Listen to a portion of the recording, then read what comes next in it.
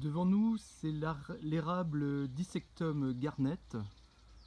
Donc le sujet fait 1m50 de diamètre et 1m20 de haut. Euh, c'est un pied qui a une dizaine d'années à peu près.